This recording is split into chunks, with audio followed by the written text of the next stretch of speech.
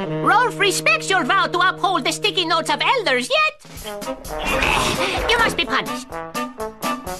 What is that, Rolf? The hat of discipline.